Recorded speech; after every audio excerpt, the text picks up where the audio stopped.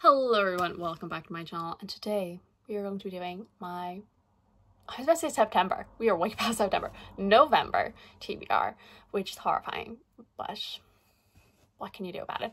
Also, I realized I wear this way too much. Like, I feel like every single video I'm wearing this and on the one hand, should I do that? No. On the other hand, is it very comfortable? Yes. Last month was Becca's Spookopoly-thon, so I did not play my own game. I played Spookopoly, obviously. But this month, we're back with a vengeance. And I can say that I successfully completed all of my Spookopoly-thon prompts. So no punishments or anything like that. So I suppose let's just get into it. Okay, so it's Spookopoly-thon over. Let's see how many spins we have to do on this. Also, please ignore the board. I know I need to make a new one. It is literally falling apart. okay, seriously, I kind of want to spin again. But also, like, if I spin again, I'm not going to land on a 10. I don't want to do just one. Okay, I'm going to do one spin, officially. But then I might just do a couple more, because I want to. But if I don't do them, then it's fine. Okay? Three. So, one, two, three. Set in a fictional world. So the first and only prompt that I actually have to do is set in a fictional world. And at first I was like, this is so easy. I mean, I read mostly fantasy, grand. Like the like two that like first came to my mind because I had like a video idea I want to do. I was like, oh, those two?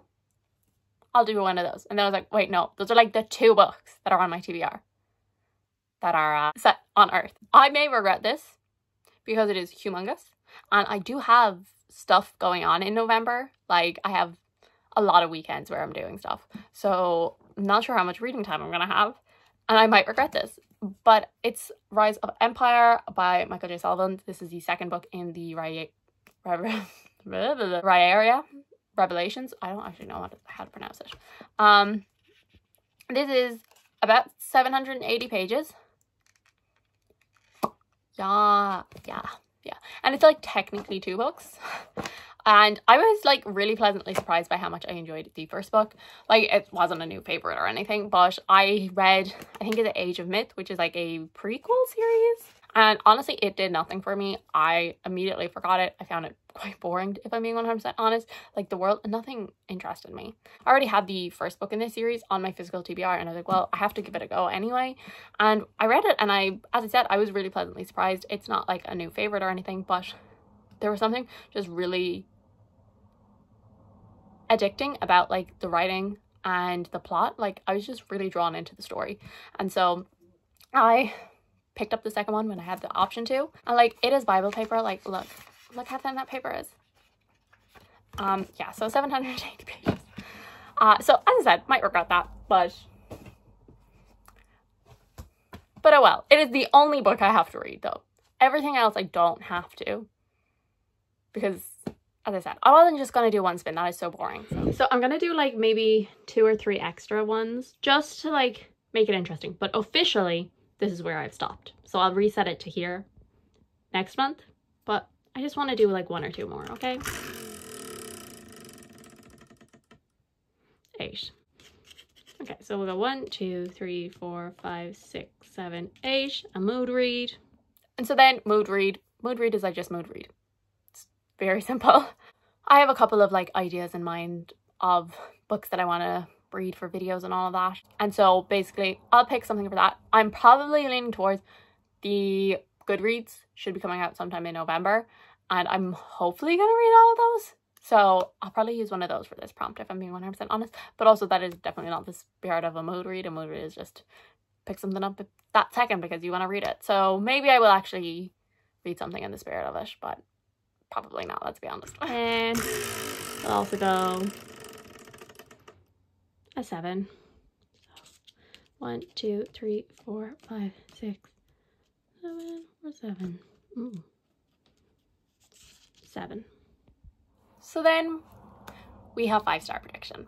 And I'm in desperate need of five stars. I think I have five five stars this year, which is real bad. Usually I have 10 at least by the end of the year. And I don't think that's going to happen this year, which is a first for me. And honestly, my four stars also not that great. my three stars. Also not great. In fairness, I haven't had any one stars this year. So that's nice. But I am in desperate need of a five star. And looking at my shelves, thinking about Wash, because like I've even like anticipated releases and stuff like that, like none of them have really been doing it for me. A lot of the five stars I've actually had have been surprises, like books I wouldn't have thought I was to give five stars, like Swordheart, Happy Place, uh, Nona the Ninth. There's only one book on my shelves that I am confident is a five star. Well, there's two, but I have to read one to read the other. So, and you're gonna look at this and you're gonna say, We've seen this before, Rebecca, and you never do it. But this month it's gonna happen. And so, my five star prediction it's Fool's Quest by Robin Hobb. It's been a whole saga with me not finishing the series. So, let me recap. It is March 2020, which we all know that was a time. I am reading Assassin's Apprentice by Robin Hobb for the Catch Up Book Club. And I'm reading away. I'm not really into it that much. Girl had no idea what was coming. But for the first time ever, she decided to try an audiobook. So she got a 60 day free trial on Scribd and she saw that the audiobook for Assassin's Apprentice and so she put it on and she was so she was reading it physically and listening to it and all of a sudden she loved that book. And so she continued. I don't know why I'm talking about myself in the third person. In 2022, I had the slump. Did not read for months, I'm pretty sure. Actually, no, I did, but I read like one bu- book a month and I was not enjoying it. uh, it was not a good time. And so I never read this when I was supposed to, along with the Catch Up Book Club. And then I was like, it's fine. I'll get over the slump and then I will just like binge the last two before the final live show.